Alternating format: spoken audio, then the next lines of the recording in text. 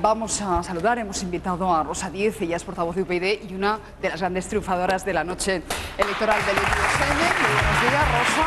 ¿Qué tal? Ya lo éxito sobre todo en Madrid, del que además tenemos que hablar porque vuestra renuncia a los coches oficiales ha desembocado en un debate muy intenso en las redes sociales. ¿eh? Bueno, interesante en todo caso. Sí, está bien y además que se abra ese debate porque mira, nos ha permitido saber que Madrid es el único ayuntamiento de toda España que, donde todos los ediles tienen coche oficial. Sí, efectivamente. Yo creo que lo desconocían muchísimos ciudadanos y he de decir que yo lo he descubierto hace poco también. También, Porque realmente no es una cosa de la que se habla habitualmente y no, no lo sabíamos. Bueno, pues enseguida entramos en ese debate, pero antes eh, permítame que hable de los pepinos. Alemania saben que ha dado marcha atrás. La culpa del brote legal no es de España. Piden disculpas, eso sí, pero el daño ya saben que está hecho. La misma senadora de Hamburgo, que soltó la liebre, ayer rectificaba. Los pepinos son españoles y están infectados, pero nadie sabe dónde se han infectado. Vamos, lo que han estado diciendo los expertos todos estos días atrás. Lo que no tiene explicación es la falta de controles internos en la Unión Europea. ¿Cómo ha podido Alemania, un país miembro, sembrar el caos y el pánico de esta manera? El gobierno español no descarta pedir una indemnización. Kann ich sagen, dass wir mittlerweile bei zwei Gurken festgestellt haben, sie tragen EHEC-Erreger, allerdings nicht die in, äh, vom Stamm O104, die das aktuelle schwerwiegende Geschehen, also die Komplikationen, die Husserkrankungen hier in Hamburg. Y vamos a seguir exigiéndole al gobierno alemán que acelere las pruebas que quedan, que pida disculpas y, por supuesto, vamos a analizar todos los instrumentos que estén en nuestras manos para paliar estas graves consecuencias que nos han afectado. Amaina la crisis y los pepinos vuelven a los mercados. Ayer los supermercados alemanes en España no vendían pepinos, pero parece que hoy el veto se va a levantar y en los últimos días los agricultores calculan haber perdido millones de euros. Alemania abre de nuevo sus fronteras. Esta empresa almeriense ha recibido una llamada del país germano. Debe enviar cuatro camiones cargados de fruta española. Hacía una semana que no exportaban nada hemos recibido la buena noticia que un supermercado que llevaba desde el jueves pasado sin cargar mercancía, ha dicho que mañana a primera hora le preparemos unos envíos. Ayer mismo estos camiones con destino a Centro Europa volvían con toneladas de productos de la huerta, kilos y kilos de pepinos tirados al contenedor. En esta otra empresa de Granada las cámaras frigoríficas están así, Miles de toneladas de pepinos se amontonan. El precio en origen se ha desplomado. Hace una semana los agricultores vendían el kilo a 30 céntimos. Hoy por hoy a 7. Ahora, tras el anuncio, los pepinos están sanos. Buenísimo. Y el campo respira un poco más tranquilo. Pero el daño, dicen los agricultores, ya está hecho. Todo el daño que ha hecho, que lo pague quien lo, quien lo ha provocado. Ya la ruina la tenemos. Y queda por delante lo más difícil. El daño de prestigio, de imagen de marca, de pérdida de credibilidad, ¿qué vale? Es incuantificable. Que tendremos que vernos los tribunales, yo creo que es el final, ¿no? El destrozo que ha producido esta alarma alimentaria es demasiado cuantioso y por eso la ministra no descarta pedir responsabilidades. Vamos a seguir también trabajando de la mano del sector para ver si hay lugar a que pidamos responsabilidades en términos económicos a Alemania por este daño causado. A diario se han perdido 30 millones de euros por esta alarma injustificada. Aunque se ha levantado el veto, el caso es que los pedidos de verduras han caído en picado y el daño al sector hortofrutícola español es inmenso. Eh, Rosa, yo no sé si con las indemnizaciones eh, será suficiente. ¿Cómo se compensa el daño hecho a la imagen? Hombre, efectivamente el daño hecho a la imagen y el daño hecho a la economía, estamos hablando de 200 millones de pérdidas eh, semanales solamente en el pepino, más todos los derivados de todos sus entornos y no te quiero contar si esto se amplía al sector hortofrutícola en general. ¿no? Ese es un daño económico que se puede evaluar en fin, de una manera no muy exacta, pero que se puede evaluar. Ahora, hay un daño político, un daño a la imagen de España, un daño político del que también hay que exigir responsabilidades. No, yo creo que el Gobierno de España tiene que ir más allá de decir estamos evaluando exigir, para decir vamos a exigir responsabilidades, compensaciones económicas, responsabilidades políticas a quien lanzó una alarma sin tener los datos para lanzarla y sobre todo me parece muy importante, tenemos que hacer algo para evitar que esto se repita, porque no vale solamente eh, en fin, resolver el problema y, y, resolverlo también de cara, de cara al pasado, compensar a los que han perdido, sino evitar que esto se produzca, porque a mí me parece inimaginable lo digo sinceramente y como lo pienso, que esto hubiera ocurrido a otro país europeo. Me parece inimaginable que, que se cerrara la frontera sin tener los datos todavía y que España empezara a figurar en, en toda Europa como un país sin seguridad, sin seguridad desde el punto de vista alimentario. ¿Más vulnerables los españoles? ¿Creéis que esta misma situación eh, no se hubiese producido, por ejemplo, en Francia? Yo, yo coincido. ¿Coincidís con coincido Rosa? perfecto, vamos, del todo, no lo veo, ni veo tampoco la misma respuesta por las autoridades francesas, porque ahí lo que hemos escuchado por parte de los ministros es eh, vamos a que nos pidan disculpas, las disculpas ya no nos sirven para nada, no las han pedido que las pidan, pero no sirven ¿Creéis para que ha nada. dejadez por parte del gobierno español, como dicen los agricultores? Pasó que un se ha día, demasiado en actuar. Susana, pasó un día entero antes de que, de que hubie- hubiese la primera reacción y después de ese día lo que tenemos a día de hoy, cuando ya Alemania ha reconocido que es su responsabilidad, que se equivocó, es que no descartamos pedir eh, responsabilidades a Alemania. Alemania es que es responsable por partida doble, porque por un lado, evidentemente ya no solo lanzas el bulo al mercado, sino que tú te saltas los, los controles, sí que hay controles comunitarios. Hay una red de alerta interna donde cuando pasa una cosa como esta, uno de los países miembros de la Unión Europea se tiene que dirigir a Bruselas y comunicarlo, no lo puede soltar a los medios de comunicación. Claro. Y además de que tú cierres las fronteras a, a nuestros productos, es que se han puesto en marcha hasta seis bloqueos ilegales, porque además también se han saltado los protocolos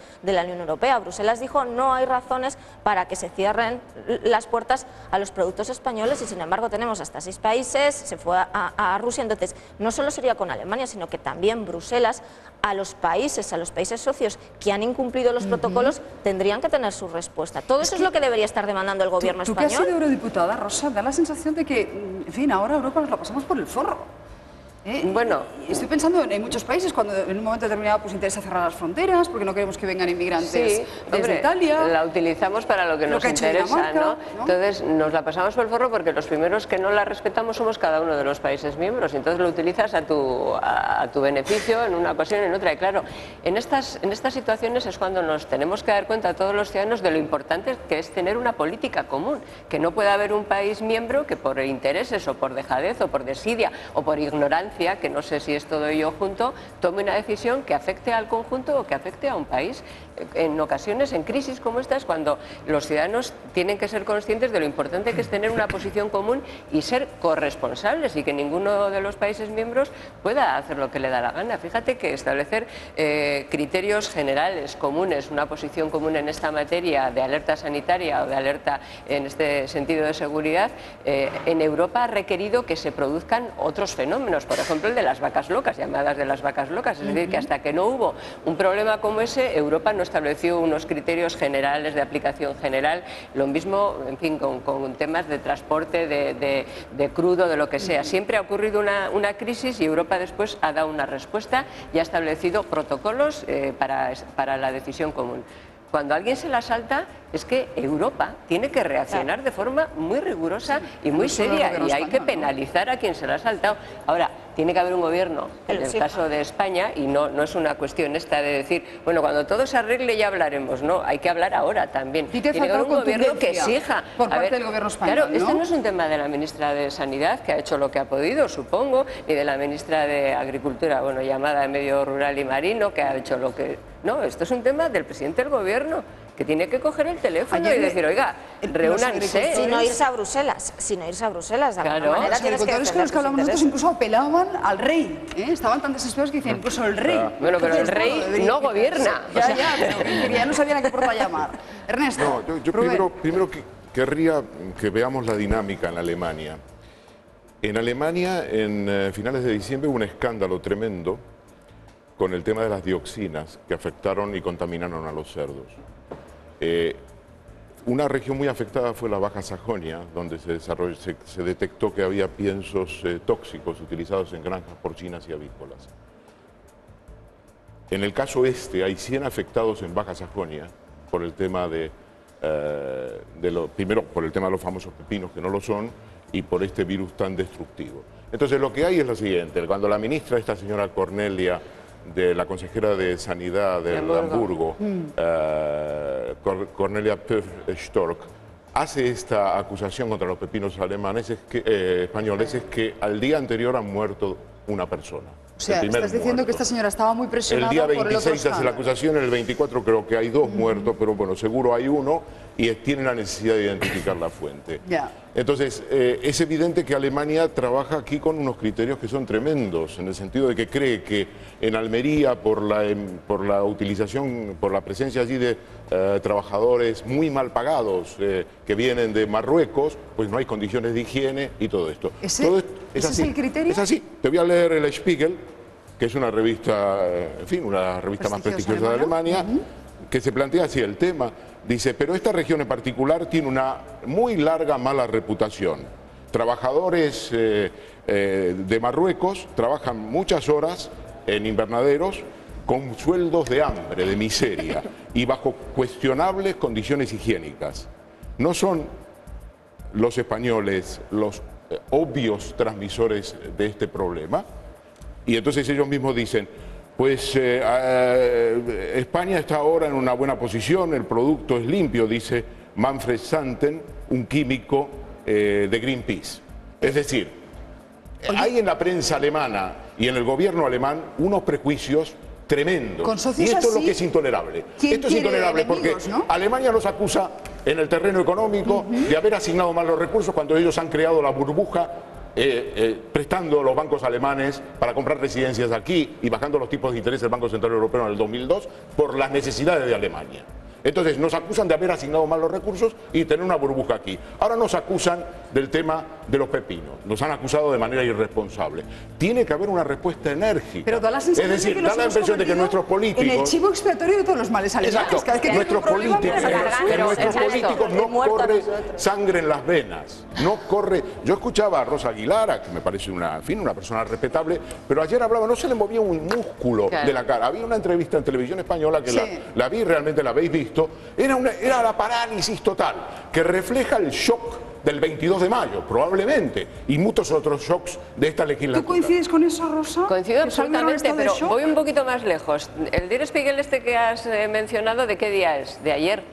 Eh, de la ayer. revista, lo que has leído. A ver, eh, ¿hasta hoy qué ha hecho el Gobierno de España? Porque lo primero que tendría que haber hecho el Gobierno es publicar una rectificación, exigir una rectificación a esos medios de comunicación, porque en la reflexión general es verdad lo que tú dices, tiene que ver con el crédito de España como país, lamentablemente. O sea que No, yo nos diría con la afecta- periferia. Nosotros somos parte de la periferia. Bueno, ya, Irlanda, pero- Grecia, Portugal. Sí, pero somos somos la España. periferia. Somos Ya, pero somos para España. todo. También para los pepinos. Pero escucha, pero somos España, somos la periferia, pero a mí eso no me tranquiliza, el ser la periferia. Y yo, No, no, si no digo que me tranquiliza. Lo que digo que es una política deliberada. Crearon la idea de la periferia y la periferia, como tiene trabajadores que no están en Sí. condiciones de Marruecos, les pagamos salarios. Como si, como si en Alemania los salarios que se le pagan, una parte importante de la población alemana está ganando hoy 500 euros Pero- en, la, en la- en la tarta. Sí, es decir, es sí, increíble el empobrecimiento que hay en Alemania. Oye, si me lo permitís, nos vamos a ir hasta San Sebastián porque hoy se va a someter a nuevas pruebas eh, microbiológicas para la detección del E. coli, el único español afectado supuestamente. Eh, las que se han hecho hasta ahora daban negativo. Aún así, los médicos no descartan que sí esté infectado y que el tratamiento antibiótico esté ocultando la bacteria. Última hora, Adolfo, ¿qué nos puedes contar desde ahí? ¿Hay nuevo parte médico?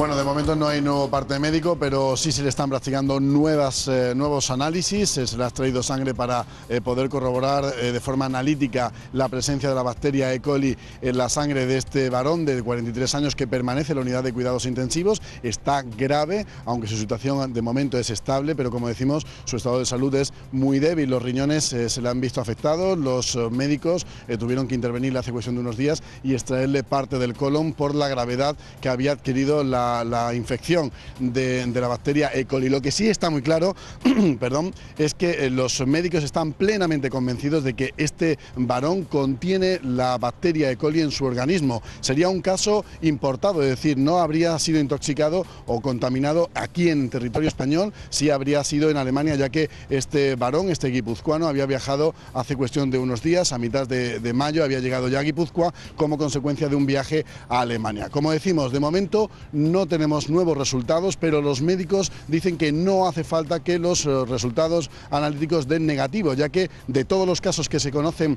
en Europa, tan solo el 53% lo corroboran los eh, análisis. Quiere decir que, por ejemplo, medicamentos o otras eh, sustancias que haya tomado los diferentes individuos, en concreto este, el de, San Sebastián, están enmascarando la presencia de esta bacteria virulenta, la E. coli. Como decimos, a lo largo del día conoceremos nuevas noticias, pero podríamos ya decir prácticamente al 100% que es el primer caso de E. coli en España, eso sí, importado desde Alemania.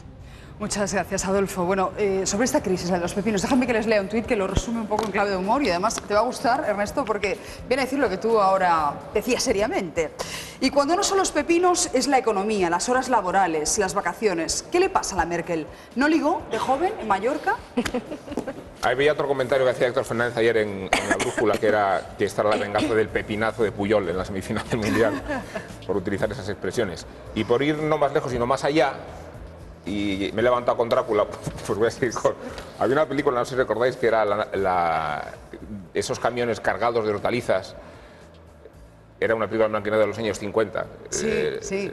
algo así como La Noche de los Muertos Vivientes. Sí, bueno, el caso es que esos Ah, camiones de hortalizas traían, suplantaban a, los habitantes de una ciudad californiana y el origen estaba en esa, en esa hortaliza de la que crecía un ser malévolo que, que sustituía a otro, ¿no? Esto lo promovía el macartismo para, para avisar sobre las amenazas que la entonces... invasión de los ladrones de cuerpos. eso es, el- Me la, me la están la invasión de los ladrones de cuerpos, exacto. Es que, Nuestro realizador la tiene en la cabeza. es que me ha venido por ver esos camiones llenos de cargas de hortalizas. Y esa era más o menos la propaganda que utilizaba el macartismo para avisar de, de las amenazas, que eran los comunistas, pero que valía para cualquier amenaza extranjera. Yo creo que aquí hay un problema que lo has mencionado tú de euroescepticismo y que existe un problema de convivencia en Europa.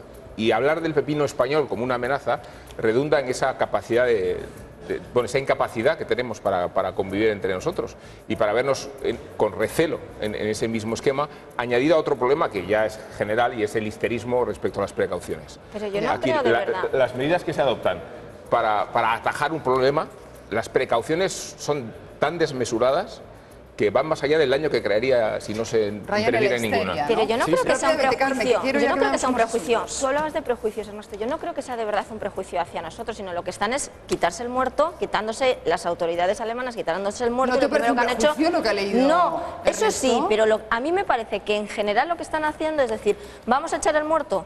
Eh, a- disparamos el muerto hacia otro sitio porque nosotros estamos dando palos de ciego. Ahora mismo el problema que tiene Alemania es muy grave porque tiene una contaminación en su cadena alimentaria y no sabe de dónde le viene. Lo primero, lo más fácil por parte de esta.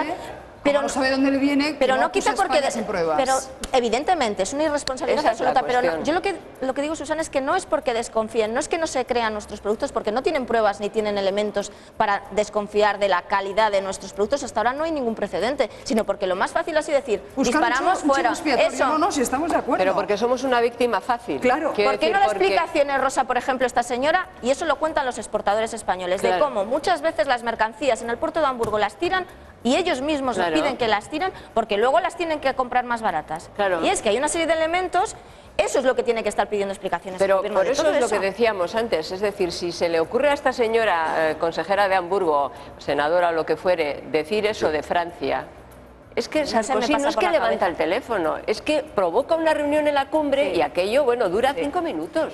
O sea, pues a eso me refiero cuando no solamente hay que Hombre, exigir una ocurren cosas posición común, parecidas, no, no exactamente igual, pero el cierre de la frontera de Francia a Italia por el tema de los Sí, tunecinos fue yo. realmente fue una bofetada del gobierno Berlusconi al gobierno Sarkozy, lo que obligó.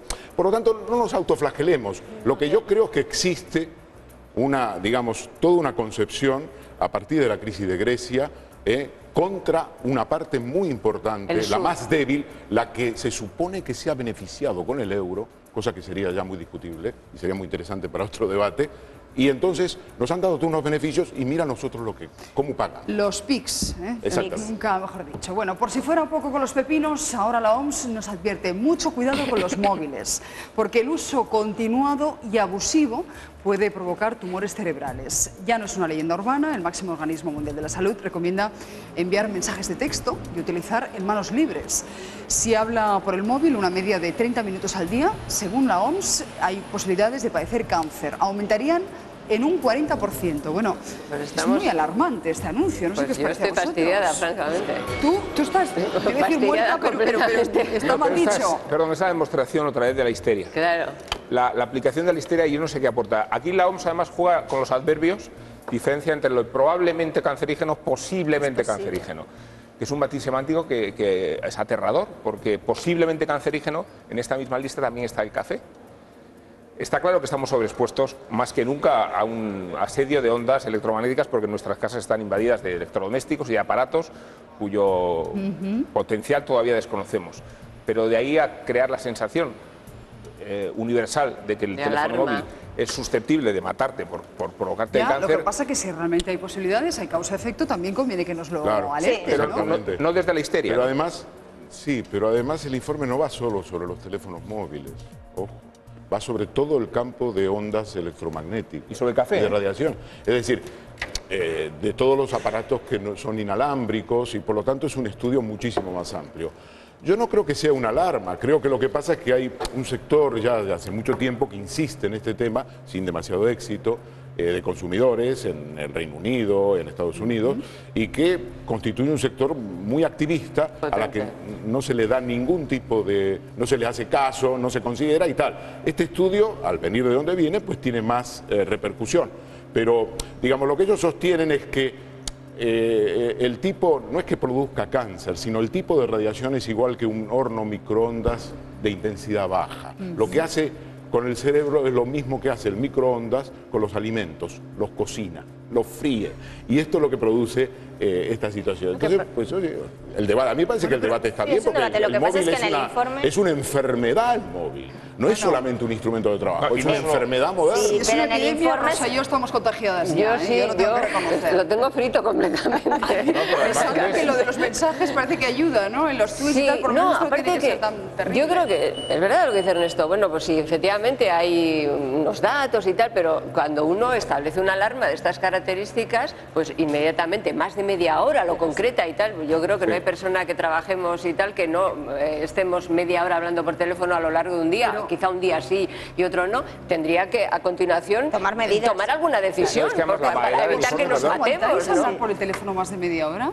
Pero Hombre, a lo largo no de manera seguida. No, no, seguido. Ah, no sé. Según el interlocutor. Seguido me coge dolor de cabeza. Según el interlocutor. Ha Pero eso es Seguido no, ¿eh? pero a lo largo, yo he entendido que no era seguido, ¿no? Que era No, a lo largo, ¿no? De No, no, todas formas, no es Seguido. la primera seguido, vez. ¿eh? Seguido. Ah, seguido. Bueno, no, seguido no es la primera vez que por parte de la Organización Mundial de Salud, que, que vale, que hay que tomar en cuenta sus consejos, pero desde gripe A hasta vacas locas y demás, que de repente hemos pensado que era casi el fin del mundo y que todos íbamos a acabar contaminados por algo que se nos decía y, al- y- y afortunadamente no ha pasado. Yo estoy de acuerdo contigo, lo que he leído en la prensa, no me he leído el informe entero, pero el rigor científico, el posible, el probable, lo primero que a mí me ha recordado es, se están curando en salud y bueno, hacen bien en curarse en salud, pero como cuando vas al médico a operarte de algo y te empieza a leer la lista de todas las Sí, cosas malas que te pueden suceder. Y- y para ellos curarse en salud para que luego no vengan las demandas. Pues algo Hace parecido. tiempo salió este mismo debate, os yo creo, recuerdo que nos indicaron que había que ponerse auriculares para hablar, Sí, que eso Eso evitaba es lo que una- recomiendan, el manos libres. Exactamente, sí, para están evitar... Lejos, lejos. Efectivamente, para Bueno, pues oye, hagámoslo. Eh, No, el, rápidamente, no, el problema de la vaguedad, porque no se explica cuál es el tiempo de exposición, y este es un problema. Y después, vale, el móvil será un problema de la salud y lo será en el orden sociológico, es decir, todos somos esclavos, nos hemos tiranizado por los teléfonos móviles o por, o por Twitter, pero, pero ese es un, un problema de orden sociológico, ya no solo sanitario. ¿no? Las nuevas generaciones cada vez hablan menos, ¿eh? Bueno, y eh, más. yo le he preguntado esta mañana cuando nos estábamos eh, maquillando, Rosa y yo, si ella estaba en Twitter. Me ha dicho, no, yo estoy en Facebook. Digo, pero es que tiene seguidores muy activos en Twitter. De hecho, yo esta mañana, cuando he planteado que venías al programa y que íbamos a hablar sobre los coches oficiales del Ayuntamiento de Madrid, bueno, no sabes la cantidad de mensajes que me han llegado. De- Además, eh, eso es curioso, ¿no? Porque desde Marcos de Quinto, presidente de Coca-Cola, a, bueno, pues a muchas personas que se sienten identificadas, otras que creen que es una propuesta demagógica. Eh, el caso es que tú lo llevabas en tu programa electoral. Tú, Sí, no, pero que propuestas de austeridad llevamos, desde luego nosotros muchas, y hemos explicado durante, durante toda la campaña la necesidad de ser austeros, de introducir en la administración pública la austeridad, no como un elemento de ahorro, sino como un principio de comportamiento, eh, que naturalmente los coches eh, oficiales, uno para cada concejal, nos parece algo no explicable desde el punto de vista de la necesidad que tienen para desarrollar su tarea. Hay que posibilitar naturalmente a los cargos públicos que puedan desarrollar aquella tarea para las que han sido elegidos y dentro de los principios de austeridad, pues eh, uno es ese, ¿no? Llegar y decir, bueno, a ver, ¿qué pinta que cada concejal tenga un coche con un chofer adjudicado a su nombre permanentemente? a nuestro juicio no tiene sentido. Entonces nos parece que lo correcto es que haya un parque público. O sea, una de- mini flota. Sí, que, que dé servicio al que lo necesite, o sea, al que lo necesite por razones de su cargo y por razones del desarrollo de su tarea. Nos parece una cuestión, digamos, difícilmente discutible. Y bueno, curiosamente, eh, algo que hemos venido diciendo durante toda la campaña sin tener ningún tipo de repercusión mediática, pues resulta que después de la campaña, cuando ya hemos sido elegidos, pues un periodista, porque además esto ha sido así, ni siquiera fue una declaración nueva, sino que un periodista recogió de las declaraciones de David Ortega esa información, la puso negro sobre blanco y entonces pues todo el mundo le llamó muchísimo la atención, pero no era, como digo, más que un compromiso que nosotros ya habíamos adquirido con los ciudadanos. Principios de austeridad, insisto, que es- en esa medida se concretan ahí, pero que en modo alguno va a ser la única. ¿Y qué va a pasar en el Ayuntamiento de Madrid? Eh, no sé. Hombre, ¿van a aceptar tendremos esa que... miniflota para todos no lo los sé, no lo sé, porque cuando se constituya... también a los suyos? No tengo ni idea. Cuando se constituya el ayuntamiento, nosotros lo presentaremos negro sobre blanco, escrito, dentro de una serie de medidas de austeridad, y bueno, pues habrá que provocar un debate para ver si es razonable lo que planteamos, porque la cuestión es esa. Lo que planteáis eh, uno u otro, ¿es razonable? ¿Tiene sentido? ¿Es positivo? Pues si es razonable, vamos a olvidarnos de quién lo ha planteado y vamos a hacerlo, porque aquí lo importante es, pues eso, establecer unos criterios que parezcan y sean razonables para quienes los deciden y que además, pues para los ciudadanos también sean Insisto, no es un gesto de ahorro, es una cuestión de principio. La austeridad en, en- en el ejercicio de la función pública me parece que es una cosa, en fin, de pedagogía democrática y de exigencia democrática también. Insisto que ayer fue una de las noticias más comentadas en las redes sociales y además nos ha permitido saber que Madrid es el único ayuntamiento en el que todos los ediles tienen coches oficiales. Ustedes son ahora mismo la llave en 26 ayuntamientos en toda España. 10 en Madrid, 6 en Castilla y León, 4 en Andalucía, 3 en Castilla-La Mancha. Uno en Canarias, Ese uno mapa en magenta me Cantabria gusta, y uno en La ¿eh? Rioja. ¿eh? No está mal, no está mal, ¿eh? además rosa. Bueno, eh, ¿ya habéis decidido con quién vais a pactar? ¿Ha habido llamada desde Ferraz? No, a ver, nosotros también en esto lo hemos explicado todo el tiempo. eh, nos gustarían pactos de Estado, es decir, pactos con partidos eh, nacionales, pactos políticos, para los que planteamos eh, dos exigencias: una, la reforma de la ley electoral y otra, que el Estado recupere la competencia en materia educativa. Se nos dice, bueno, pero estos son municipales y autonómicas, sí, pero los interlocutores nuestros son partidos nacionales que pueden hacer eso. O sea, que está en su mano tomar una decisión para modificar estas dos, eh, estas dos cuestiones. En el caso de la ley electoral sería una nueva ley, en el caso de la, de la educación, competencia del Estado, ni siquiera hay que modificar la Constitución, sería una nueva redistribución de carácter político. Bueno, Mm, No hay respuesta, digamos, eh, oficial por parte de ninguno de los dos partidos, ni del PSOE ni del PP, hasta el día 11 se cons- que se constituyan los ayuntamientos. Pues nosotros estamos a la expectativa. Realmente, bueno, el PSOE, hoy, he leído hoy que Hernando había dicho que era imposible, pero realmente si no hay respuesta, es decir, si no hay pacto, pacto político ni con el PSOE ni con el PP, nosotros lo que haremos será respetar eh, la voluntad de los ciudadanos expresada en la urna en cada uno de los Es decir, que municipios. facilitaréis Y que la formación una pregunta, con una única excepción, si me permitís. así va a ser esa. Con una única excepción, que es que no posibilitaremos e impediremos, si podemos, y podemos, que llegue a la alcaldía una persona que esté imputada y que esté procesada por un delito contra la administración pública. Iba a preguntar precisamente por el caso de Getafe, digo que es muy representativo de esos 26, porque es una ciudad muy importante del cinturón de Madrid. Sí, porque el alcalde es el presidente de la FEON y tiene, es más conocido. Ha tal, ganado, pero- ha ganado- la lista más votada ha sido la del Partido Popular. La suma del Partido Socialista de Izquierda Unida convertirían en la opción preferida de los ciudadanos. Ustedes decían, no sé si es el criterio de la lista más votada o de la voluntad popular, pero ¿qué va a hacer UPyD en este caso? O sea, No, si no hay acuerdo, lo acabo de decir, si no hay acuerdo, nosotros no quitaremos ni pondremos alcaldes, respetaremos lo que han decidido los ciudadanos en las urnas. Y los ciudadanos en las urnas no votan coaliciones, votan listas. Nuestro, nuestra propuesta electoral, que también lo hemos explicado y desde hace tres años hemos planteado iniciativa en el Congreso, es que a los alcaldes se les pueda elegir directamente por los ciudadanos. En la reforma de la ley electoral pedimos esa reforma, precisamente para que en los despachos no se cambie lo que los ciudadanos han votado en las urnas, que es legal, por supuesto, pero que los ciudadanos han hecho una preferencia. Bueno, hoy eso no es posible en el sentido de elegir directamente al alcalde, pero los ciudadanos sí eligen una candidatura. Eligen una que es cerrada, que a nosotros nos gustaría cambiarla, pero eligen una, no eligen una coalición de tres, de cuatro, de dos o de lo que sea. En todo No, caso, si eligen, un centro izquierda, por ejemplo. no, en bueno, Getafe eligen una lista. Usted cuando va a votar no, no elige, eh, no le han dicho los partidos, es mi opinión, ¿eh? no le han dicho los partidos políticos, oiga, que yo me voy a coaligar con este y con el otro y tal, entonces vóteme a mí que ya sabe que eso es... la-". Bueno, los ciudadanos van y meten una papeleta, una. No meten tres a la vez, dice este para que se coaligue con el otro, no, meten una. O sea, Entonces, que Bildu debe, nosotros- debe ser la, de Bildu debe ser el alcalde de San Sebastián. Ay, yo es que Bildu creo que no tendría que estar en No, la- ya, en pero- la- pero el caso no, es que está. No, no, es Digo, que con ese la criterio, misma- Bildu debe tener No, la porque de mire, de la misma manera que impediremos que un procesado esté en la alcaldía, impediríamos que alguien que nosotros creemos que es socio de la organización terrorista ETA Sí, no estuviera en la imputado, alcaldía. no está imputado, quiero decir. Bueno, es una- pero usted me ha preguntado y yo le contesto. Quiero sí, decir, sí, o sea, no, para clarificarle, Y ¿no? has preguntado por Getafe y- y por la favor, pregunta que nos hacían hoy a través de la página web también era sobre Getafe. Hola Rosa, ¿va a abstenerse UPyD en Getafe? Muchos votantes populares que hemos confiado en ti, en Getafe. Y por eso le han votado votar al Partido si Popular. con el PSOE, claro. Esto es No, otro lado. mire, mire, la cuestión es que eh, nosotros no lo vamos a hacer por los votantes populares, ni por los votantes de Izquierda Unida, ni por los votantes. Lo vamos a hacer porque es un compromiso que nosotros adquirimos con los ciudadanos cuando nos presentamos.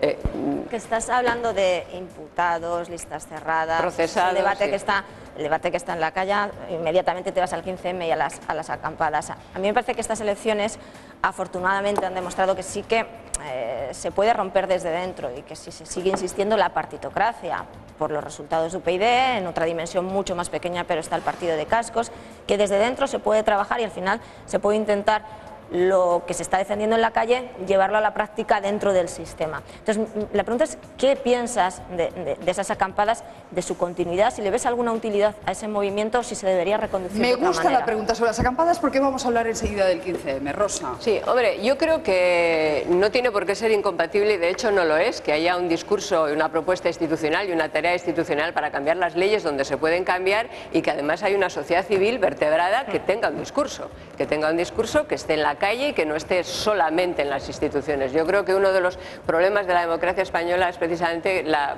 falta de vertebración social y cívica, ¿no? Y que no hay, en fin, no hay una organización transversal que, que plantee un discurso fuera de lo que es propiamente la tarea de los políticos. Hombre, nosotros creemos, y por eso hicimos un partido político, que había que romper los tabúes desde, desde las instituciones públicas, que había cosas de las que no se hablaba en las instituciones públicas, pero que mucha gente las pensaba en su casa, pero no, no, no estaban organizadas y que había que llevar esa voz y esa propuesta al conjunto de las instituciones públicas. Por eso hacemos lo que hacemos, pero a mí me parece que no molesta todo lo contrario, que haya personas que se organicen fuera de lo que son los partidos políticos o a veces también estando a la vez en partidos políticos que expresen públicamente que- lo que piensan sobre cuestiones que son importantes. Que Otra cosa es cómo los organizan. Lo, lo digo Otra porque, ahora ya los comerciantes, eh, de, sobre todo de Puerta del Sol, están pidiendo desalojo inmediato porque que les están provocando muchas pérdidas económicas eh, y apelan además a la delegada del gobierno a tomar medidas ya. Hombre, yo creo ¿Qué que no pueden tú? estar permanentemente ocupando un espacio público que es de todos. Es decir, no, no pueden estar permanentemente, tiene que tener un punto y final, o sea, no pueden estar permanentemente ocupando ese espacio, generando problemas, porque, porque no está previsto ese espacio para eso, y generando pues hasta conflictos de carácter eh, económico y de carácter social. Eh, dicho eso, yo creo que hay que ellos debieran de encontrar y debiéramos de posibilitárselo, quiero decir, eh, una forma de expresar lo que quieren y lo que piensan y de canalizar esa reivindicación, pues eh, de forma paralela, no al margen de lo que hagamos los políticos, porque yo creo que para cambiar las cosas hay que estar en la política. Yo creo que la política y la democracia tienen que ir paralelas, no se puede hacer al margen de la política, de la política institucional también, pero en fin, a mí me parece, me parece muy interesante que haya habido mucha gente que un día se ha puesto a hablar, por ejemplo, de la reforma de la ley electoral y que lo que hasta ahora solo era un debate entre políticos, pues resulte que eh, Está en la calle. está en ¿no? la calle. No, y además había gente Y- que decía el 80% de lo que ellos reclaman eh, forma parte de vuestro programa electoral. Ciertamente, pero ciertamente ¿no? desde hace tres años, quiero decir que no es que lo hemos puesto en el programa ahora, en fin. Y además no tenemos nada que ver en el sentido, había una leyenda urbana, me contaron al principio, decían que estábamos detrás de ese movimiento, detrás en el sentido de impulsarlo. como si tuviéramos esa capacidad, quiero decir. Y, por ¿no? otra parte, un insulto para la gente que de una manera autónoma pues, ha decidido expresar su Pues- opinión. Tiene que haber un límite, ¿eh? es mi posición. Yo quería comentaros algo más porque ha habido mucha bronca, eh, la que se ha llevado un guardia urbano, que tras el desalojo del pasado viernes en la Plaza Cataluña, desalojo que aquí contamos en directo, lamentaba en su Facebook no haber podido dar ni una colleja a esos guarros. eh, Son palabras textuales. El ayuntamiento le ha abierto un expediente. Ferran Teruel, guardia urbano de Barcelona, estaba el viernes en la Plaza de Cataluña. No intervino en el desalojo de los acampados. Eso fue competencia de los Mossos de Escuadra. Para el agente Teruel, su condición de espectador resultó frustrante a tenor de los comentarios que dejó escritos en Facebook. Lo mío ha sido como estar en una pastelería y no poder comer ni un trocito de pastel. El guardia también utilizó la red social para insultar a los acampados y para expresar su decepción por no haber podido ejercer la violencia contra ellos.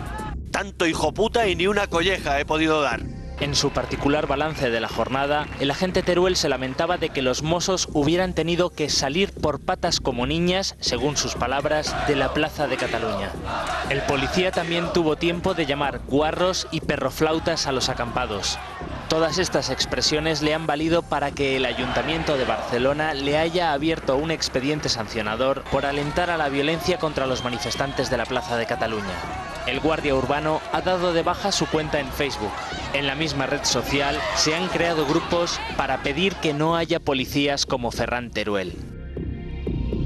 Bueno, en fin, eh, bastante lamentable, ¿no? Pues Creo sí, completamente. Bueno, mayores a comentarios. mí, Susana, me parece interesante si pudiéramos preguntarle, como hacemos esas preguntas que tú haces, si los eh, ciudadanos creen que deberían eh, promoverse escenas como estas de la represión en Cataluña, la represión absurda, gratuita que tuvo lugar en la Plaza de Cataluña, en Madrid. ¿Quieren los españoles que se reprima y se produzcan escenas como estas en la Puerta del Sol de Madrid? Oye, TV3 Parece hizo un sondeo, preguntaban a los catalanes si debía ser desalojada Plaza Cataluña y el 60% dijo que sí y el 40% Bueno, yo lo que quiero saber es lo que da aquí, no lo sé. Pero podemos plantearlo de otra hemos manera. como lo hemos visto, Ojo con una cosa así, pero podemos plantearlo de otra manera, ¿no? Yo creo que nadie quiere eso. Bueno, desde luego puede haber quién, pero no creo que nadie en su sano juicio quiera eso. Ahora, queremos la inmensa mayoría de los ciudadanos, primero, que no sea una frustración el final de, toda, de todo ese movimiento cívico y segundo, que, que vuelva a la normalidad a las calles y a los centros de la ciudad. Yo creo que hay que Eso va a combinar ocurrir en esas las dos próximas cosas. 48 horas. Pero yo añadiría una cosa. Eso va a ocurrir en las próximas Sí, 48 si me pues eso permitís, ojo con criminalizar también a las fuerzas de seguridad del Estado, sea Mossos, sea policía, o sea el que sea. Digo, porque acaba, evidentemente lo- el comentario que hemos escuchado no, el comentario que hemos, evidentemente la ley para todos y el primero para este señor que me parece impresentable y que tiene que tener una sanción y un expediente disciplinario. Pero digo, eh, la unidad de intervención policial en Madrid a principios de semana llegó a la Puerta del Sol. No hemos tenido ningún problema, están haciendo un trabajo excelente. No todo que no, ahí han dado leñas y, Sí, y- sí. O sea, evidentemente. Yo digo que, contra las- que hay que normas, criticar cuando hay que criticar, ¿no? pero que también, A por ejemplo, eh, debemos Carmen, de reconocer el trabajo que está haciendo he ahora mismo. siempre el trabajo de los Mossos de Escuadra, siempre. Eh, soy la primera que les defiendo porque además creo que es un cuerpo muy profesional. Pero el viernes ya criticamos porque además nos lo hacían llegar muchos manifestantes, muchos indignados, que no estaban correctamente identificados. Sí, las imágenes ¿Qué ha pasado además no- no tienen Que las 15 discusión. denuncias Pues- caerán en saco roto porque no se les ha permitido Que es Pero fíjate que Pero bien, esto- pero junto con eso, pongamos en el otro lado de la balanza lo que yo os estoy diciendo, el trabajo que ahora mismo está haciendo la unidad de intervención policial. Pero es que desde nadie lo principios de- cuestiona el claro, trabajo policial. Bien, pero critiquemos, Lo que no pero queremos es este tipo de cargas y pero más. A, veces Claro, ese tendemos a tipo caer de reacciones que son unilaterales dices, Ernesto, están dices, estimuladas, no, en este caso, por la dirección política de la Generalitat y del Ayuntamiento de Barcelona y por fundamentalmente este consejero Puig que ha desarrollado, digamos, eh, los incidentes individuales y este energúmeno es el producto de una situación. Y el- la situación fue la represión en la Plaza de No, Cataluña. de hecho, tiene razón porque la cuestión es que ellos van, no van identificados precisamente porque tienen por qué asumir las responsabilidades de, lo- de lo- las de las decisiones políticas. Ese es el claro. problema de fondo. Pero cuando Ernesto tú planteas, hagamos la pregunta a toda la sociedad de si queremos lo mismo para la Puerta del Sol, es que se puede producir ese desalojo y se están buscando vías ahora mismo para, si ellos al final, que yo creo que lo van a hacer en, Van a desalojar, poco, no se va a producir Pero no esa tendría por qué ocurrir lo mismo, no No, no, que pero no, ocurre lo mismo porque la dirección del Ministerio del El Interior. error de unos con el error Porque de la dirección del Ministerio del Interior en Madrid es exactamente la contraria de la que ha ocurrido en Cataluña. Por esa sencilla y fundamental razón es que no ocurre lo mismo. No, mira, yo es que creo que no, que digamos que la, la cuestión es que la democracia significa que hay leyes que establecen límites y que esas leyes y esos límites tienen que ser aceptados y cumplidos por todos, por las autoridades y por los ciudadanos. Entonces, esa es la democracia, que tiene que haber límites y que todos tenemos que cumplir con los límites y que cuando alguien se extralimita, se asume responsabilidad personal o política. Lo mismo entre los eh, policías que han disuelto esa manifestación y que personalmente han podido cometer, han cometido, eh, digamos, infracciones, y lo mismo también entre quienes se enfrentan a ellos. Es decir, los límites son siempre personales, son colectivos en el sentido de la, la autoridad y personales en el sentido de quien los vulnera, porque esta es la democracia. Entonces, encontrar un, eh, una convivencia que permita que dentro de las leyes todos estemos a gusto es lo que, lo que tiene que hacer la policía. Y el portavoz de un sindicato policial nos dijo, no, no, si van identificados, lo que pasa es que lo llevan debajo de la protección. pues bueno, pues bien. no se ve, no se ve la identificación, Claro. con lo cual ahora Eso no es se les puede denunciar. Claro. Están cubiertos legalmente. Eh, claro, vamos, no pueden estar más cubiertos. En fin, vamos con el enfado real, ¿eh? porque no es nada habitual ver el rey así. Siempre habitualmente le vemos de buen humor. Su cercanía, su campechanía nos tiene conquistados, pero ayer, en fin, estaba muy molesto por tanta rumorología sobre su estado de salud.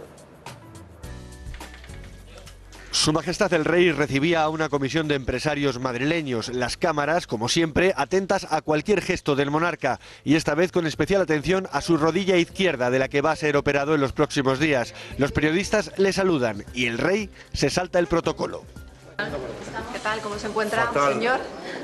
Pues yo le Fatal. veo fenomenal. Salimos un momentito, gracias.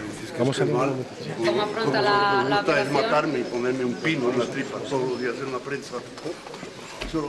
Una real reprimenda. Don Juan Carlos hace notar así su enfado por las constantes alusiones en algunos sectores de la prensa sobre su salud, o mejor dicho, sobre su mala salud. Al término de la recepción, Su Majestad el Rey, en tono más conciliador, se acerca de nuevo a los periodistas para explicarse. No, no, es que está para morir, es que está para, para estar en el cajón. En mayo del año pasado le fue extirpado un nódulo benigno en el pulmón. Don Juan Carlos se ha recuperado satisfactoriamente de la intervención, pero eso no ha evitado que la atención mediática sobre su estado de salud sea continua. Cada acto oficial es analizado minuciosamente y se especula sobre cada más nimio detalle. El pasado mes de marzo, al recibir al presidente chileno Sebastián Piñera, algunas imágenes mostraban unas bolsas oscuras bajo los ojos del rey. La Casa Real achacó las ojeras a un efecto óptico. Un mes más tarde, esta vez en la recepción del jeque de Qatar, una barba algo descuidada provocó de nuevo comentarios sobre su aspecto. Ahora le toca el turno a su rodilla. El rey tiene 73 años, sufre dolores en las articulaciones y le cuesta estar mucho tiempo de pie. Son las secuelas de una vida deportiva plagada de lesiones. Pero ayer, don Juan Carlos, en un exabrupto muy raro en él, quiso dejar claro que se encuentra bien. ¿Por qué creéis que se enfadó tanto el rey? Por Un mal día tiene cualquiera, ¿no? Tantos dimes y diretes, tanta creo que- un mal día tiene cualquiera, ¿no? Y yo creo que ayer fue un día fuera de protocolo, ¿no? Que se saltó su propia, en fin, monomía, su propia forma de, de relacionarse con los medios de comunicación. Yo creo que fue, juicio, A mí me ha parecido estupendo. excesivo. ¿Te pareció estupendo? Sí, me parece, cuando tú dices que alguien es campechano y el rey lo es, lo estás diciendo para bien y para mal. Lo estás diciendo, no es que es campechano unas veces y otras no, es que realmente él tiene un estilo de proximidad que es muy, muy, muy personal. Y entonces, de la misma manera que es, eh, en fin, en, otras cosas se manifiesta de esa manera, ha dicho, oye, yo ya estoy, estoy hasta el gorro. No, no, es que está muy molesto. Estoy hasta el ¿eh? gorro, Está dejadme tranquilo, que dejadme que, que me operen, dejadme que... Yo tengo que abandonar los deportes, dejo el bribón, dejo, en fin, dejo las regatas, me lo dejo todo, me van a operar. Ya, pero- Oye, ¿qué queréis? Oye, pero Sí, creo eh, que ¿no? más que ¿a ti no te parece que esto de que le quieren poner una estaca, o sea, que es un poquito exagerado, un pino, o sea, es un poquito No, pero exagerado, porque, a ver, Bueno, él, él uno, es el uno- jefe del uno- Estado. uno reacciona de manera humana, Que- está hasta el pues gorro. eso digo que un mal día pero cualquiera. yo no sé si pero los reyes tienen que reaccionar de manera tan humana. De, de verdad, a mí me parece que esto es el de por qué no te callas eran en otras circunstancias y otra, pero la campechanía del rey nunca se ha manifestado de esta manera, jamás hasta ahora. Y la impresión, yo la que impresión siempre hay tengo una es que- primera vez. Bueno, pues una primera vez no Sí, tiene por qué cuando estás hasta el gorro, pues que, así. de que él a lo mejor. Es bueno, pues no estupendo, sé si el rey humano. puede estar hasta el gorro y puede Simplemente humano. evidenciarlo de esa manera. Bueno. Y yo lo que creo es que él está no por lo que se escribe, que al final tampoco se está escribiendo ni se está diciendo tanto oficialmente, sino No. lo, por lo que a él le puede llegar y le debe estar llegando de lo que se dicen los mentideros. La posibilidad, y estoy seguro de que también a él le ha llegado, y ayer te lo decían, no oficiosamente, no oficialmente, pero sí oficiosamente, de que le llegue, de que desde alguna revista, desde algún medio de comunicación ya se esté incluso preparando el material para el caso de que le suceda algo. Y a mí lo que me, lo que me lleva a pensar es lo difícil que nos resulta en nuestra, soci- en, en nuestra sociedad es convivir con el proceso de vejez, con el envejecimiento, rey- porque el Vamos rey hay Susana... Después de tantos es años lógico- debería estar blindado, ¿no? Digo yo, ante tanta Es que es- tantos dimes y diretes. Yo creo que deja de Depende de lo que se diga. Y además, también es, es, es humano. Y, yo creo que debemos entender que el rey se está haciendo mayor, que es lógico que limite la agenda, que es lógico que ya no pueda ir a hacer esquí de fondo, ni ir a las regatas, ni ir a ninguna... Pero eso es que entra dentro del proceso natural de Bueno, envejecimiento un- y no pasa nada. Hay un dicho vaticano que es el Papa está bien hasta que se muere. Y eso forma del respeto de la tutela que se tiene a esta clase de figuras. Y el rey está perdiendo esa dimensión. Y digo afortunadamente porque significa que ya no tenemos que tutelar en exceso el rey porque la democracia es sólida. Antes creo que la inmunidad, la impunidad, ese hermetismo que él se concedía provenían de, de que era el garante de nuestra democracia en muchos sentidos. Y el poderlo atacar como se le está atacando, ¿eh? y, y en convertirlo más frágil, está muy bien siempre y cuando sea la demostración, como lo es, de que la figura del rey ya no es tan importante para nuestra estabilidad y que ya no es necesario protegerlo, ¿no? Esa es mi, mi pues mira, pero, chico, yo por eso, por eso lo de Drácula. Pero el, lado, su- creo- el lado sobrenatural de No, no, Drácula. no lo vuelvas a contar porque no hemos entendido. Pero yo creo que, que, a ver, eh, si hubiera habido en ese momento un periodista que le hubiera dicho algo desagradable, maleducado y tal, entiendes una reacción de ese tipo. Pero tú te imaginas que tú estás allí y dices, Majestad, ¿qué tal está usted? ¿Qué? Fatal. Me... No, hombre, no.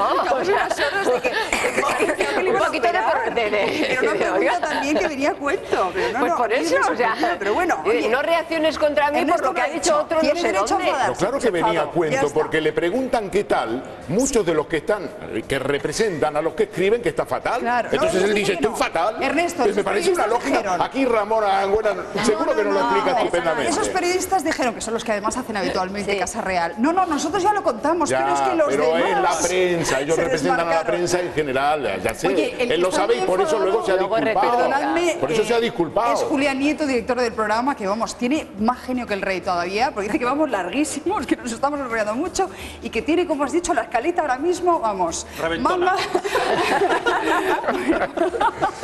por, por lo tanto, voy ya con la pregunta, ¿cree que el gobierno ha gestionado correctamente la crisis del pepino? Esa es la pregunta que les formulamos, ya pueden contestar en la página web de la cadena.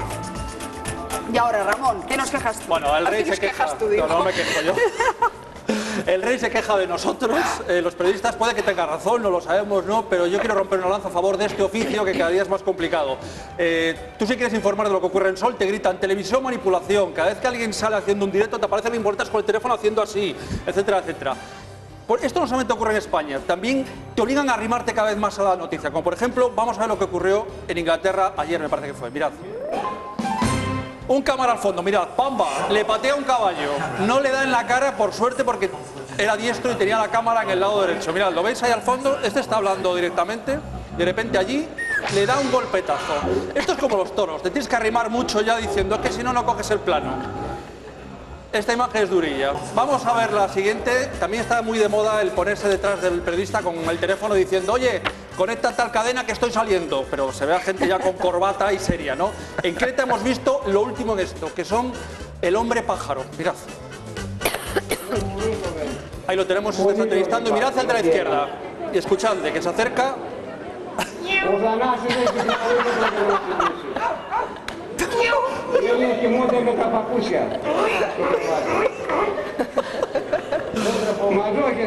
Parecía un hombre serio, ¿verdad?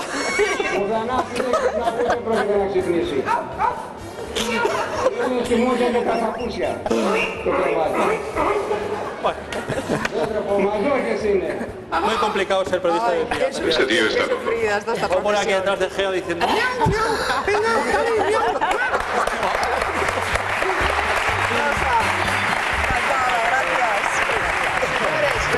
a ustedes. Bueno, nosotros